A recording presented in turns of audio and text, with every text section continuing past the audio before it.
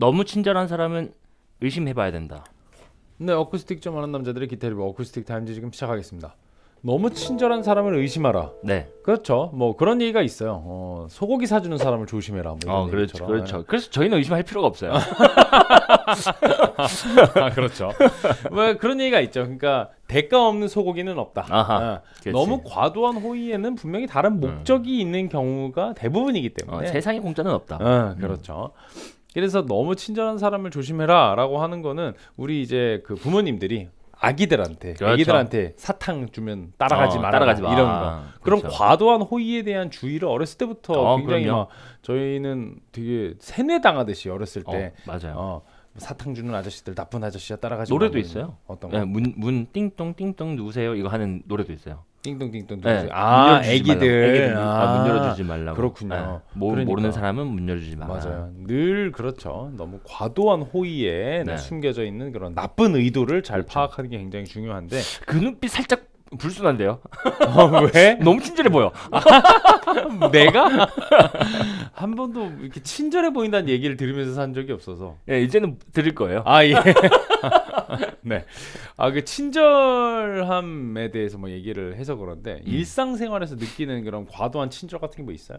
아 일상생활에서 예 뭐랄까 그 어 어차피 이제 사회에서 만나는 분들은 그런 이제 이득이나 이런 거에 실리라는 게 약간 엮여 있는 사람들이 많잖아요. 음. 일을 하다가 보면 그래서 일하러 갔을 때 이제 과도하게 친절하게 해주시는 분들이 계세요. 음. 와가지고 막 뭐도 해주고 저것도 해주고 약간 대접하는 음. 듯이 이렇게 음. 분명히 호의일 수 있는데 그 음. 뒤에 딸려오는 것들이 음. 이제 거부할 수 없게 만드는 것들이 있더라고요. 아, 그렇죠. 그런 네. 것들을 좀 주의해야 한다. 그렇죠. 뭐 갔는데 막 현장에서 막 엄청 잘 챙겨주고 막 뭐 하고 나중에 뭐 곡비를 깎는다든가 그렇죠. 아, 그렇죠. 작업비를 퉁치려고 한다든가 어, 우리 사이에 왜 그래? 어, 뭐 이런. 맞아요 그렇게 되는 거 이런 게 굉장히 위험하죠 네, 그렇죠. 어, 그래서 또 막 그런 것도 되게 주의해야 하는 게 그러니까 너무 필요 이상으로 빨리 친해지는 것도 굉장히 경계해야 하는 것 중에 하나라고 맞아요. 생각을 해요 예, 특히 이제 남자들의 관계 같은 경우에는 쉽게 형 동생을 그렇죠. 먹어버리면은 한국의 그 독특한 형 동생 문화 때문에 어, 그 어, 문화가 있죠. 맞아요. 약간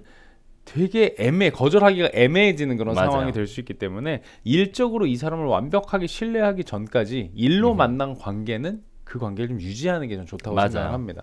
그래서 이 사람이 정말 좋은 작업을 할 때 신뢰할 수 있는 사람이고 일했을 때 음흠. 그때 조금씩 조금씩 무장을 해제해야지 그렇죠. 네, 너무 그런 과도한 친절함에 속지 음. 말고 여러분들 자기의 권리를 잘 지켜나가시는 것도 좋습니다. 네, 훈련을 통해서 잘 가져가시기 바라겠습니다. 그리고 어, 과도한 친절을 베푸시는 여러분들 그거 다 보입니다. 어, 그렇지. 어, 막 데려다가 막 소고기 사준다고 막 다 좋아하지 않아요. 네, 그렇지. 맞아요. 그렇습니다. 이런 것들을 잘 보는 눈을 익혀야 하는 게 음. 또 우리처럼 이렇게 각자가 프리랜서로 개인 사업자로 음. 살아가는 이런 직종에는 더더욱 중요한 게 아닌가. 맞아요. 맞아요. 좀 신경을 많이 쓰고 살아야 되는 음. 부분이라는 생각이 들어요. 자, 여러분들 올해도 어, 어, 권리를 자기의 권리를 잘 찾아먹는 한 해를 보내시기 바라겠고요. 네, 오늘은 Cort의 어쿠스틱 기타 Modern Black LE 모델 같이 리뷰해 보도록 하겠습니다. 굉장히 독특한 형태의 어쿠스틱 기타죠. 신기하죠? 전면을 딱 봤을 때 이 뭐 어쩌라는 거지? 약간 이런 느낌. 네. 소리는 뭐 어디로 나가는 거지? 했는데 짠! 위에를 딱 보면 일로 다 나가게 되어 있다. 와우. Sound port가 dual입니다. 네. dual side sound port가 뚫려 있어서 아니 다 보이죠? 그래서 뭔가 약간 좀 이렇게 만들다 만 것 같은 그런 느낌 음. 있잖아요. 이 옆에를 보면 왜냐면 안에 전선이나 이런 것들이 보이기 다 때문에, 보이기 때문에. 네, 약간 마감이 덜 된 것 같은 느낌을 주지만 네. 뭐다 그런 건 아니고 만들어졌다는 거. 다잘 만들었다는 거. 네. 자, 그래서 앞면이 다 막혀 있고 이 측면부가 전부 뚫려 있어서 아주 독특한 그런 사운드 감성을 갖고 있는 기타다. 이렇게 보시면 되겠습니다. 자, 이게 그 좀 특이사항을 좀 몇 개 설명을 해드릴게요. 자, dual side sound port라고 되어 있는데 어, 이게 중앙의 soundhole 대신에 측면에 이중으로 sound port를 뚫어서 상판이 soundhole이 없어지면서 더 탄력 있는 사운드를 만들어낸다 이렇게 되는데 이게 무슨 음. 얘기냐 이 안에서 원래는 자연스럽게 공명이 울려야 할 자리에 구멍이 없으니까 여기서 사운드가 튕겨 나올 거 아니에요 그렇죠. 그래서 이 부분이 이제 탄력적이다라고 얘기를 하는데 이게 뭐 받아들이기에 따라서는 이게 좀 튀는 사운드로 느껴질 수도 음흠. 있고 너무 약간 날카롭거나 딱딱한 공명으로 느껴질 수도 있는데 그걸 이제 이 측면에서 상쇄하려는 거죠. 그렇죠. 그래서 치는 사람이 듣기에는 그런 효과가 좀 덜 느껴질 수도 있고요. 음흠. 이 어떻게 보면 내가 치면서 스스로 관객이 되는 거나 마찬가지인 지금 그렇죠. 세팅이고 관객의 입장에서는 오히려 원래 치던 사람이 치는 것 같은 그렇죠. 어, 듣는 것 같은 그런 느낌 있잖아요. 내가 원래 칠 때는 나는 이렇게 치고 사운드가 이렇게 나가는 걸 이렇게 듣는 건데 그렇죠. 관객의 입장에서 이제 이걸로 치면 사운드가 이렇게 나가는 걸 내가 이렇게 듣는 거니까 그렇죠. 오히려 내가 칠 때의 느낌 약간 플레이어의 입장에서 듣게 되는 그런 특성을 갖게 되지 않나 싶습니다. 이게 기본적으로 기존에 있었던 사운드 포트에 비해서 훨씬 더 적극적인 사운드 음. 포트 형태를 취하고 있기 때문에 듣는 입장에 있어서 쳤는데 이 사운드가 나한테 너무 마음에 든다라고 하면은 이것도 뭐 좋은 옵션이 되지 않을까 싶습니다. 네 그리고 또 Fishman의 Matrix Infinity 픽업이 장착이 되어 있어서 네, 이런 기타의 물리적인 특성을 네, 잘 뽑아내주고 있고요. 상세 스펙 살펴보도록 하겠습니다. 네, Made in China의 129만 원, 130만 원이에요. 전장은 103.5cm, 무게는 1.95kg, 두께는 103mm, 구 fret 뒷둘레는 78mm입니다. Grand Concert shape의 상판은 solid European spruce master grade가 올라가 있어요. 이런 데서 이제 가격이 조금 음흠. 올라가게 된 거죠. 측후판 역시 solid 마호가니로 좋은 스펙을 보여주고 있습니다. neck은 walnut 네, reinforced 마호가니의 이 asymmetric neck profile을 가지고 있어서 6번 줄 쪽이 살짝 두툼하게 되어 있습니다. 음흠. 그래서 위쪽에서 코드를 잡을 때 엄지 쪽은 약간 두툼하게 걸리고 아래쪽은 조금 편리하게 연주를 할 수 있게 어, neck이 구성이 되어 있고요. head machine은 Gotoh의 SGL 510Z gold head machine이 들어가 있습니다. 최고급이죠. 네, 너트는 그라프텍의 블랙터스크, 블랙터스크 너트. 너트 너비 44.5mm, 지판은 ebony, 스케일 길이는 648mm, fret은 20 fret까지 있고요. Fishman의 Matrix Infinity 픽업, bridge는 ebony의 ebony 핀이 들어가 있습니다. 네, beveled armrest 있어요. 기본적으로 고급형 모델이라고 보시면 되겠습니다. 자, 가장 중요한 건 사운드 포트가 어떤 영향을 미치느냐인데. 그렇죠. 네, 한번 사운드 들어보도록 하겠습니다. 네, 사운드 들어보겠습니다. 저는 위에서 들을 때는 괜찮아요. 그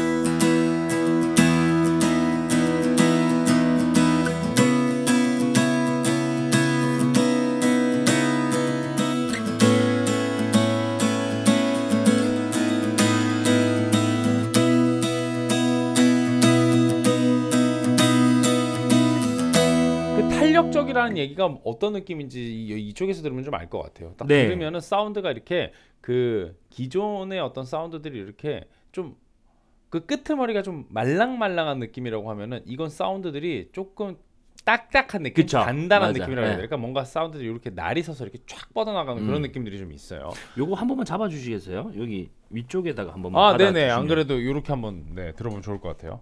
어 이거 어, 분위기 이상한데. 어? 가보겠습니다.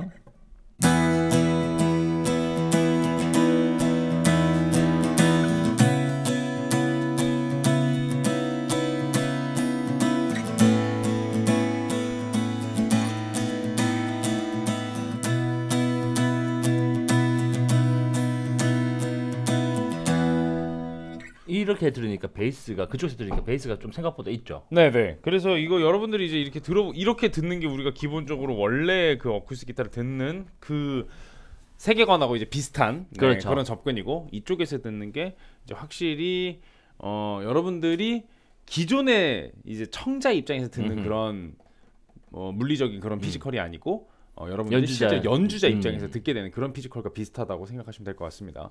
자 그리고 이거는 뭐 우리가 사운드 포트 이렇게 나오면은 막 막고도 소리 들어보고 이랬는데 이건 뭐 막을, 수가 없어 너무 많아. 수- 네 맞아요. 자 이렇게 해볼게요.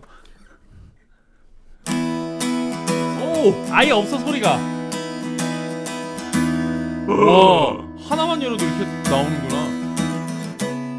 어 오히려 오. 이거보다 이게 훨씬 더 크게 열리는데? 아 근데 오, 어, 아 이렇구나 진짜 신기하다. 오. 아 이거를 나갔다 떼는 것만으로 진짜 완전히 그냥 다른 완전 사운드가 다르네. 되네요. 그러네요. 자 이렇게 어, 아주 독특한 어, 우린 음향학적인 구조에 대해서 살펴보고 있습니다. 좋아요. 자 핑거 들어볼게요. 핑거 사운드 들어보겠습니다.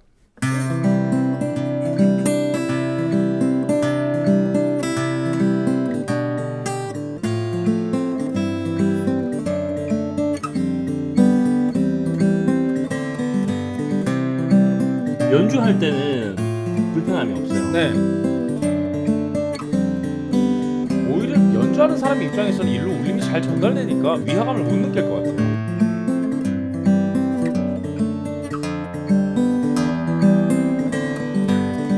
괜찮은데요. 음. 네, 좋습니다.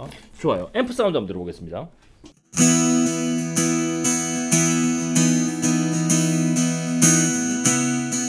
괜찮네요, 앰프.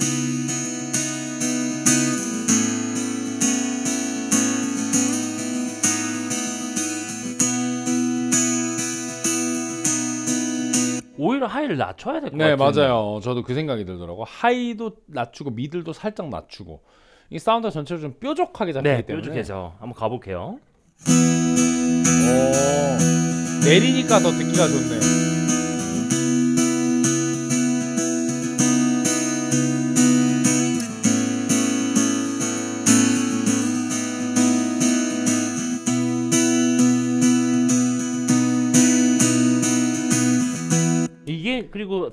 상성도 좋네요. 네. 네. 저희 아마 리뷰하면서 최초일 거예요. high 낮춰서 어, 바로 잡는 그 거. 처음이에요, 네. 처음. 무조건 올려서 잡는데 네. mid를 낮추지. 처음이네요. 네, 그렇습니다. finger 사운드 보겠습니다. 이 상태로 쳐볼게요.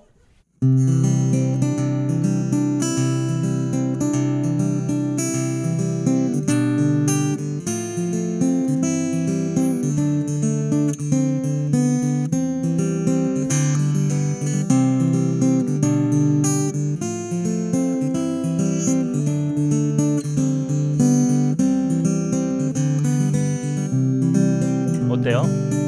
의외로 저음도 생각보다 좋고요. 이게 앰프로 들으니까 음. 사실 뭐랄까요 공명이 있는 상태에 그거를 넣어서 그런지 음. 앞이 막혀 있다는 생각이 안 전혀 들어요. 안 들어요. 네, 잘 네. 안 들- 이게 듣, 들지가 않네요. 그 옆면이 뚫려 있다라는 느낌은 실제로 우리가 이거를 날소리로 들었을 때만 좀 티가 그렇죠. 나지 앰프로 나올 때는 어차피 그 사운드가 뭐 옆으로 맞아요. 나오는지 위로 나오는지 뭐 알 수가 없는 형태로 네네. 이제 조합이 되니까 앰프에서는 그런 느낌이 좀 적고 근데 그 앞부분에 이제 줄이 울리는 데가 원래는 가장 크게 울려야 하는 곳이 뚫려 있기 때문에 소리가 안으로 바로 들어가잖아요. 그렇죠. 근데 얘는 친 사운드가 거기서 튕기기 때문에 그 날카로움이 앰프에 어. 전달이 돼서 하이가 좀 세진다라는 그런 특성을 그래서 있습니다. 이게 약간 솔로 할 때 약간 라인 기타 소리가 좀 나요. 맞아요. 어.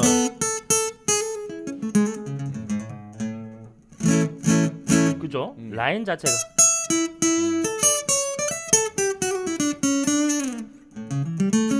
우리 저렇게 앰프 miking 말고 그냥 뭐 그냥 어, DI에다 그치. 그냥 꽂고 라인 치는 정말 라인 어, 사운드 있죠. 그런 그런 느낌이. 소리가 조금 납니다.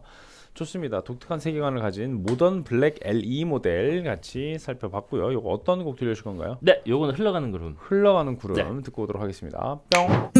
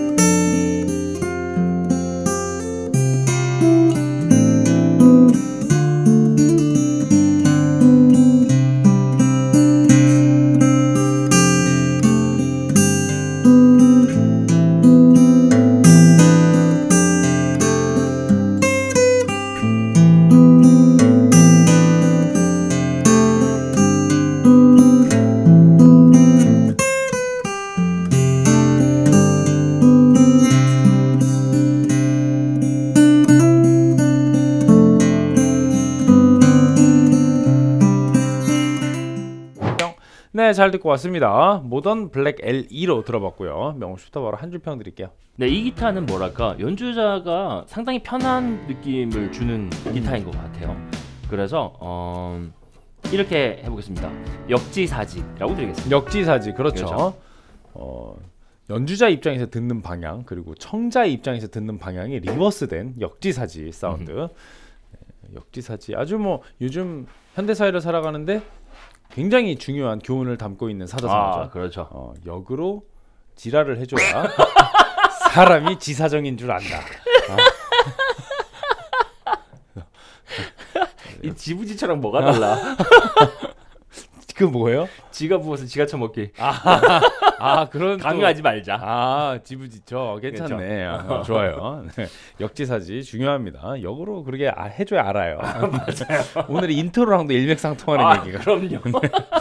좋습니다. 어 저는 어 확실히 옆으로 나오는 거에 대한 또 매력 포인트가 있는 것 같아요. 이게 그냥 뭐 앞으로 나오고 옆으로 나오는 게 뭐 얼로 나와도 상관이 없다 이런 수준으로 비슷한 건 아니고 음흠. 분명히 세계관의 차이가 있기는 맞아요. 있는데 옆으로 나오는 거에 대한 매력 포인트도 분명히 있는 것 같고요 그런 좀 탱글탱글하고 좀 유리 같은 질감 네, 그런 것들이 이 측면의 또 매력이 아닐까 싶습니다 그래서 저는 약간 축구에서도 음. 꼭 중앙 공격수만 있는 게 아니잖아요 어, 그렇죠. 네, 그렇죠 윙어들이 또 그런 그렇죠. 역할들을 해주잖아요 윙어가 훨씬 더 무서운 공격력을 어. 우리 손흥민 선수처럼 네. 보여주는 경우도 있기 때문에 저는 최고의 측면 공격수 드리도록 하겠습니다 스쿼드 돌려볼게요 이거는 가격이 120 정도 되나요? 음, 네 그렇습니다. 네 스쿼드 발표하겠습니다. 명호씨 사운드 28, 가성비 15, 편의성 16, 디자인 15, 총 디자인 16, 총점 75점 나왔고요. 저는 사운드 27, 가성비 16, 편의성 15, 디자인 16, 총점 74점, 평균 점수는 74.5입니다. 이게 보면은 음, 디자인이 굉장히 좀 독특하고 인상적이다 보니까 디자인 점수 괜찮게 나왔고요. 사운드랑 나머지들도 다 준수하게 나왔습니다. 정말 네개다 평균 이상을 보여준 아주 준수한 점수였고요. 제가 usability에서 1점을 더 원래 15점 줄까 하다가 1점 더 준 이유가 뭐냐면 음. 일단 연주자 입장에서 아, 내가 치는 사운드를 좀 잘 들을 수가 있고 음, 앰프를 꼽았을 때 그게 가감 없이 좀 음. 나가준다는 게 저는 usability를 하나를 그러네요. 줬어요. 확실히 편의성이라고 할 만한 포인트가 네. 있죠. 좋습니다. 그리고 뭐, 뭐 이런 bevel cut 있고, 그쵸. 네, 뭐 튜너도 좋은 거 달려 있고 이런 부분들이 확실히 편의성에 좀 네, 어, 이렇게 영향을 긍정적으로 미치는 부분들이 좀 있어요. 74.5 뭐 좋은 음, 점수 잘 받았습니다. 받았습니다. 네, 스펙이 좀 독특한 세계관 자체가 독특한 거에 비해서는 아주 좋은 점수를 받았고요. 네, 다음 시간에는 또 독특한 세계관으로 계속 네. 가보도록 하겠습니다. 이번 시간이 이제 바디의 형태로 음흠. 독특하게 승부를 봤다면 다음 시간에는 이제 줄의 구성과 네, 지판 쪽에 아주 독특한 포인트가 있는 길드의 디럭스 바리톤 가지고 돌아오도록 하겠습니다. 네, 채널 고정해 주시고 유튜브 구독과 좋아요는 저에게 큰 힘이 됩니다. 어쿠스틱 타임스.